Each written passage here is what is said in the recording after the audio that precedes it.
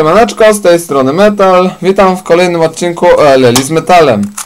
Dzisiaj zrobimy kolejny OLL, tym razem kolejne P. Już to. Prawie ostatnie. No w sumie chyba ostatnie. E, OLL jest bardzo prosty. Niektórzy e, nawet już go wykorzystują, nawet nie wiedzą o tym. Jest to metoda move, tylko odwrócona. To jest normalna. To jest normalna a to jest odwrócona. Tak jakby w dół, a nie do góry. I to jest właśnie wykorzystanie tej, e, tego, tej orientacji OLL.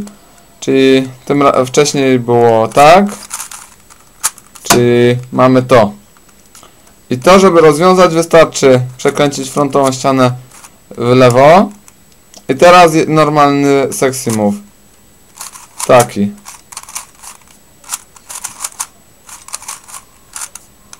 Tylko, że w tą stronę. Całkiem proste. Zrobimy to jeszcze raz. Takie P. I teraz dajemy frontem. I teraz powtarzamy.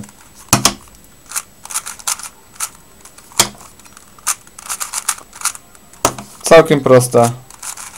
Na lewą rękę. Tu jest na prawą rękę, to było wczoraj. No i tyle. Tutaj już skończę, dobra. To chyba było na tyle. Pokażę może na tym jak to wygląda. Mamy takie P. I żeby rozwiązać to trzymamy to po lewej stronie.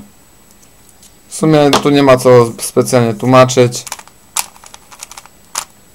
Wystarczy się nauczyć. Dobra, skreślamy kolejny dzień i do zobaczenia jutro. Jutro coś ciekawszego. Cześć.